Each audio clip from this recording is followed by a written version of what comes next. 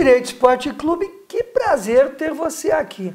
Reinaldo Zé Martorelli, como é que está a nossa pauta? Todo dia discutindo novidades. Mas tem coisa, hein? Tem coisa. Tem coisa. E Martorelli, uma coisa que me chama muita atenção e que revolucionou esse país foi o Código de Defesa do Consumidor. O CDC, o primeiro diploma constitucional brasileiro, depois da, efetivamente da Carta Magna que nos inspira e que lança esse país para uma das maiores democracias do mundo. Que apoia o Estado democrático de, direito, direito, no o Estado social, social, dignidade mas- humana, que é a coisa mais linda do mundo. A Constituição Federal Pena que a gente não consegue né, efetivar todas as vezes. é porque o povo, inclusive, está construindo culturalmente para ter consciência constitucional à medida que a nossa Constituição é muito grande, a Constituição é muito grande. E a gente tem o Estatuto do Atleta. Eu vou mexer com você, vou trazer uma inquietação. O Código de Defesa do Consumidor e o Estatuto do Atleta permite que o torcedor xingue atleta, permite que o, sor- que que o torcedor invada centros eh, de treinamento, permite que efetivamente essa violência contra o atleta. Como é que a gente pode dosar e dizer, não, o Código de Defesa do Consumidor e o Estatuto do Atleta não permite esse tipo de invasão? Que que essas, que que, houve aquela invasão no Centro de Treinamento de São Paulo, foi atribuído até um ator global, que eu não vou citar o nome para efetivamente, por um respeito ao, ao- a, a ele, porque a Não, medida... respeito, respeito a- Eu aos também- demais. Aos demais, Porque ele foi infeliz. É, mas extremo. vamos dizer que o que se fala, efetivamente, as pessoas não podem seguir, né? Sim. Aquele negócio de. Eu só queria saber de uma coisa, Reinaldo Martorelli. Por que tanta violência? O que justifica uma pessoa só porque paga o ingresso ou porque é torcedora de um determinado clube ter essa fúria e essa manifestação violenta contra um outro ser humano, trabalhador como aquele, a gente espera que seja um trabalhador também, se o atleta não vai na empresa do- dessa pessoa e fala, ó, você não está trabalhando bem, você está faltando muito, ou sei o quê, e xingar o cara. Ou seja, essa relação. Ou seja, o que permite uma pessoa ofender a outra só porque a outra faz parte de um atleta, uma celebridade, e efetivamente do respeito à pessoa e à dignidade. Né? Lívia, na verdade não tem nada, isso é coisa de maluco, né? É, não né? tem nada que permita o, a Lei 9615, que é o Estatuto do Desporto, Código de Defesa do Consumidor, O não tem, Estatuto Torcedor, é, não tem nada, Estatuto do Torcedor não tem nada que possa permitir, até mesmo é, prever esse tipo de atitude. Então a gente vai buscar um outro diploma, diploma legal que é o Código Cri- Criminal, né? Código Penal de Código 39, Penal, Código exatamente. Hungria. Exatamente. E aí as pessoas exacerbam na sua manifestação é, essa falta de entendimento. A gente até falou no outro programa, né, que é aquela coisa da, da transferência da personalidade. E tem um livro muito, muito legal ah, que eu, para minha dissertação no mestrado, é, eu li, eu fui atrás dele, achei um só, que é o da Cláudia Matos, que também é uma outra dissertação no mestrado dela, na PUC do Rio de Janeiro, que fala 100 anos de paixão. E ela traz, retrata a história da, da evolução eh, do Rio de Janeiro, da cidade do Rio de Janeiro, e, os, e a inserção dos clubes nessa evolução. E é muito interessante nessa transferência de, de, de personalidade de caráter. Mas é isso, né? Não existe uma outra profissão fora do esporte que o cidadão transfere a sua personalidade para uma entidade, para um clube ou para um outro competidor, para um outro atleta. Então, quando aquela transferência não tem a reciprocidade que ele imagina, ou seja, eu transfiro, eu, eu me transfiro para você, mas eu quero você um vencedor. Eu não consigo ser um vencedor, mas eu quero você como vencedor.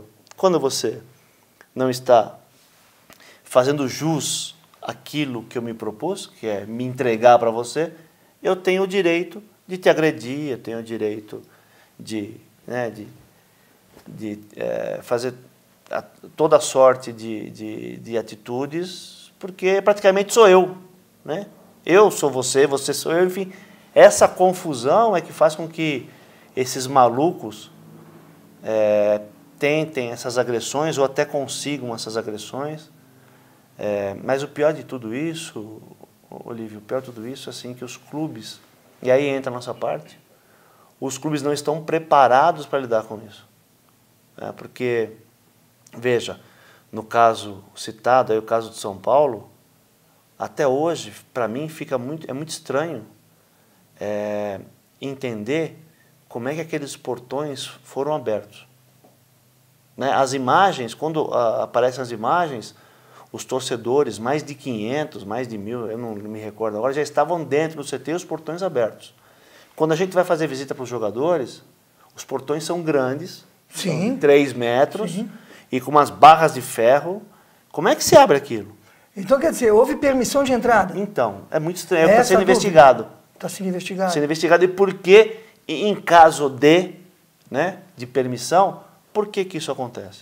Por que, por que, que o dirigente não tem capacidade de lidar com o time, não com a equipe? defender os atletas? Numa hora, numa fisicamente, hora. De Então. fisicamente. Não digo clausura, mas a gente está lidando com celebridades Sim. cultuadas nesse, nessa coisa da mídia brasileira. Essas celebridades eh, são efet- efetivamente abertas ao povo e têm que ser preservadas, à medida que a gente não sabe o que se Então, o passa. ser humano tem que ser preservado, né? Sim, todos na sua íntegra. Todos na sua íntegra, de certo. Mas o clube tem a custódia desses Você quer, saber, quer coisa pior? Qual? Porque sempre que acontece um, um fato como esse, fato abominável como esse, Criminoso, né? é, o clube ele tenta transferir a responsabilidade para a segurança pública, para a autoridade pública. Quer dizer, "Ah, a polícia não atuou. Ele. Mas não é fechar a porta, trancar então, a porta? é assim, é uma coisa, o clube não entende que o principal responsável pela integridade física do trabalhador é ele. Lógico. Né? O, o meio ambiente de trabalho. É, exatamente. Não tem? O É Ministério ele. Público do Trabalho não fica de olho no meio ambiente e pune o mau empregador que não protege, que não tem os equipamentos de proteção individuais e coletivos, ou seja, não tem essa preocupação? Tem. Também não corre, não corre isso nos centros de treinamento e nos clubes para preservar os atletas? Então, devia correr com mais frequência. A gente aciona a Delegacia Regional do Trabalho e a gente vê pouca atuação. O que, que a gente faz? Tem que falar com o Eric Conchiran, o Eric, que é meu amigo, grande procurador. Eu vou trazer o Eric aqui, que é o tive- tive procurador com ele geral. tem- tem algum Um tempo. ga- eu acho que é gaúcho o Eric, não Gaúcho. sei, mas um sujeito excepcional. E o Eric é um humanista e ele Ou o sabe- Eduardo Angarten, da Sim. 15ª também, que também, os dois, eu tive uma reunião com os dois Os recentemente, dois, debatendo algumas nós questões. Temos que trazer mais, o Ministério Público tem que proteger o meio ambiente de trabalho, são, é o custos lege, é o fiscal da lei. E que- Então, esse é o fato. O pior de tudo isso não é só a agressão, mas é o fato de o clube tentar transferir essa responsabilidade. Toda hora é assim. Quando houve aquela outra invasão no Corinthians, Hum. né? O que, que nós fizemos? Opa, aquela foi terrível também, hein? Então, nós ingressamos, além de todas as ações Hum. e atitudes com relação a inquérito policial, nós Tá. pedimos a abertura do inquérito policial, Lógico, lógico. fizemos todas as gestões, tanto no Ministério Público do Trabalho quanto no Ministério Público Estadual. Né? Nós ingressamos com uma ação pedindo a indenização para cada atleta, por dano moral e pelo meio ambiente inseguro do trabalho. Né? Resultou num acordo, o doutor Homero, eh, da Belintani, se eu não me engano, Qual? da, da, enfim, da Justiça do Trabalho, Não é o Homero, Matheus? Hum, agora me fugiu o Tá. sobrenome dele. Mas ele eh, eh, fez uma intermediação de um acordo, porque Tá. ele teria que sentenciar, ele chamou o Corinthians para discutir, nos chamou, queria fazer um acordo, o Corinthians, num primeiro momento, não queria assumir a responsabilidade com as- ações e atitudes da torcida organizada, então nós não, na, naquele momento, não aceitamos o acordo. Só quando o Corinthians assumiu essa responsabilidade, nós fechamos o acordo. Ou seja, o Corinthians agora pode ser penalizado pelas atitudes das torcidas organizadas, inclusive. Né? E nós vamos, já preparamos, já, já ajuizamos uma ação da mesma forma com São Paulo. E paralelo a isso, a, você sabe que em matéria de ação penal, a gente fez o, o pedido de abertura de inquérito, mas um dado momento o ofendido tem que ratificar. Lógico, lógico, Né? E nós voltamos lá para ratificar pelos ofendidos, porque por medo de represália, o atleta não vai lá. Né? E o inquérito policial deu seguimento também, está tá tramitando. Ou seja, é mostrar que isso não é, não é possível e o clube tem que ficar do lado do trabalhor. E aí e entra, é o seu patrimônio. E, exatamente, e é aí entra uma coisa, Alívio, que é houve uma desconfiança lá atrás no Corinthians, que é a mesma, a mesma situação agora. O clube, insatisfeito com a produtividade de alguns atletas, prefere abrir os portões para que a torcida coaja um, um, é, um trabalhador é para poder. É muito grave, então, é, grave. é, a mesma. A gente não consegue, não conseguiu caracterizar lá de, definitivamente, mas agora está tá sendo feito um trabalho para isso. Eu não sei em que ponto que a gente vai chegar. Mas olha a maluquice que é o futebol. Olha a irresponsabilidade. Olha a falta de preparo. Você acha que essas pessoas eles têm condição de estar tá dirigindo alguma coisa? Não, e o que me chama muito a atenção nesse particular é que clubes que não têm tido um bom resultado esportivo ou desportivo, como a Portuguesa, como o Guarani de Campinas e outros clubes, não tem problema. O Corinthians ganhou tudo no ano passado. Então, se não houvesse esse desbalanço que eu acho que a, a diretoria do Corinthians errou nessa coisa chinesa de vender quase todos os jogadores e, e, e ter derrubado Mas o plantel. Mas não vendeu, né? Aí tem, tem, tem que isentar. É, que, porque os caras chegaram pagando a multa, a multa não, não, e foram embora. Acabou. Ou seja, não se aguentou e o Corinthians que tinha ganhado tudo, efetivamente passa por um mau momento. Mas Paulo, entra numa Deixa eu te, te interromper, tá, você volta. Mas entra naquela outra coisa, Lívio, que ai, é, levaram os atletas que tinham e a gente agora está desprovido. Não, faz jogar quem está lá. Lógico. Faz jogar quem está lá. Organiza um novo plantel. Né? Faz, quem está lá faz jogar. Lógico. É, aí Tem um fica aquela história, não, mas porque não contratou. Quem contratou? Faz jogar quem está lá. E, de fato, agora deu uma reequilibrada, né? Lógico. Perdeu, ganhou, perdeu, ganhou, Lógico. mas reequilibrou. E o São Desculpa. Paulo, que efetivamente ganhou tudo de uns anos para trás, agora a torcida também se rebela. Ou seja, é incompreensível, na minha época de futebol, de meia esquerda avançada? Não, assistindo futebol, um futebol de altíssima qualidade, onde o Campeonato Paulista estava aqui, o Roberto Gomes Pedrosa estava aqui, porque o Campeonato Paulista era a coisa mais importante para a gente. Sim, na minha época também. Uma coisa. Os estaduais eram muito mais importantes do que o nacional. Você tinha o Corinthians com o Tabu, com o Tabu com o Santos, que o Flávio e o Paulo Borges quebraram, grande Paulo Borges, grande Paulo Borges, grande Flávio, quebraram, nunca tinha isso, nunca teve isso. A torcida do Corinthians não tinha visto o título, quanto foi? 20, 21 anos? 23 anos. 23 anos de tabu, ganhou o Paulista, nunca tinha acontecido isso. O São Paulo também, que ficou um tempo muito, muito, muito grande sem ganhar nada, nunca teve isso. O Palmeiras também. O Santos depois, né? Tinha até o famoso depois, ou oh, oh, o Santos já acabou, que a torcida, as torcidas, nunca tive isso. Agora, times absolutamente vitoriosos como o São Paulo, o Corinthians, agora não o Flamengo, porque o Flamengo conseguiu um, um ponto de equilíbrio é, desportivo e está muito bem no Campeonato Brasileiro. Você percebe essa coisa é, absurda é, de, de ingressar no, no, no, ambiente dos jogadores que torcedor nenhum poderia ir, ou poderia ir se fosse para fazer uma festa, como Sim. é no Manchester, no Liverpool, que as crianças contratam a festas com os jogadores, os jogadores são pagos para ir, isso é o famoso. Não, vai para o estádio, paga ingresso, paga vai, ingresso, e vai vaiar, tudo bem. Vai vaiar, ou seja, tudo bem, como é que uma é. pessoa pode invadir um centro desportivo ou um clube para bater naquele que é o seu ídolo? É, mas não é só aqui, aconteceu no Curitiba recentemente, aconteceu no Clube do Remo, ou seja, ou seja a, a, a não, não mas é uma coisa brasileira, uma né? mudança eu da sociedade. lá fora. É, de fato, nem na Argentina. Nem na Argentina, que é uma coisa mais é. pegada. Você viu, o Messi se, perdeu eles se batem em torcedores O lá, Messi né? falou, eu não vou jogar, jogar mais no time perdeu o pênalti. Não, mas tem mundo... que jogar, ele tem que jogar. Pelo amor de Deus, joga Tem que jogar. Time. Então, tem Messi, que jogar porque é bom pro Brasil Messi jogar. Comigo, é que no Maradona, devia voltar o Maradona treinador da, da seleção argentina. Grande. Ia ser bom. Adorava o Maradona, aquele programa que ele tinha na televisão argentina. Maradona sempre foi um grande sarro. Maradona, Maradona é muito engraçado. Você vê, o Messi, ninguém bateu no Messi. Foram pedir para ele voltar. E só um país de doidos não vai ter um, que, que tem um, uma selecionada, não vai ter o Messi jogando. E nada. E aqui eu fico triste com a torcida do São Paulo. Com todas, né, Lívia? Com todas. Agora...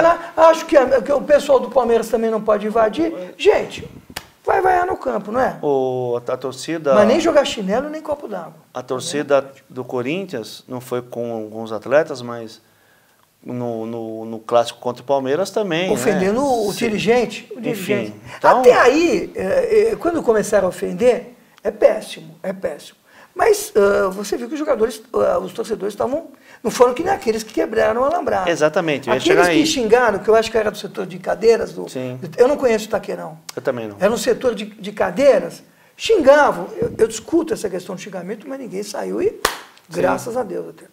Ótimo. Mas aqueles que hostilizaram a polícia, hostilizar trabalhadores, hostilizar a polícia militar. Quando a polícia bate, a gente critica. E eu tenho criticado, quando a polícia está batendo das crianças, fazendo prisão por averiguação, plantando militar como estudante para fazer prisão, como fazia a ditadura militar, a gente condena. Mas também não vai provocar a policial militar. Não dá, né? Não vai chutar, não vai ser black bloc aí e nada. A gente defende que a polícia seja preservada e que a polícia entenda que a praça pública é do povo, como é que é? A praça Castro Alves é do povo, como o céu é do avião. Ou seja, não pode bater em verde e amarelo, não pode bater em vermelho, Vermelho, não, não, pode não pode bater em bater fora. Temer e não pode bater em fora ninguém. Ou seja, a democracia está aí, é um bem que a gente preserva e a Constituição tem que ser preservada na sua íntegra. Então, Ou é, seja, é aquela coisa, você falou em democracia, é muito interessante, porque tem gente que acha que democracia é falta de ordem, né? Não é falta de ordem, é falta de opressão. E sem opressão é o direito, eu perfeitamente. quero meu direito, mas eu tenho que respeitar, né? Antidemocráticos não Vem o participam contrato de. Rousseau, né? O Nazista contrato não- social. Nazista não participa da democracia. Fascista. Racista, fascista, tudo que é ista e que não aceita o processo democrático como algo comum e a dialética do debate, opa, tá fora. Tá fora, não vem para cá e não vai conseguir mudar o sistema. Então, E é uma covardia também, né? O que É. aconteceu com São Paulo, aquela vez no Corinthians, é covardia. Pô, bater nos 500 caras pô, gente. pra, pra ir pra cima de e são os 19, ídolos 20. deles. Mas assim, 500, né? Ganha- Pega 20 e vai pra cima de 20. Eu quero ver se eles vão. Pô, mas Tonelli, Tudo covarde ali, tudo próximo covarde. jogo vira Deus, como é que fica a cabeça do Exatamente. atleta? Eu não, Não, posso eu queria dizer, que vão me matar. Eu queria falar de novo. Eles são covardes, Olívio. Eles são isso? covardes. Porque assim, no mano a mano ninguém encara jogador de futebol. Então, ninguém encara. Agora, pra- 500 contra, contra 20 é E fácil. pra que bater num cara que vai ganhar o próximo jogo? Exatamente. Você Aí vai vira explicar o tudo. que pra tua namorada que tá vendo o jogo com você? Vira tudo.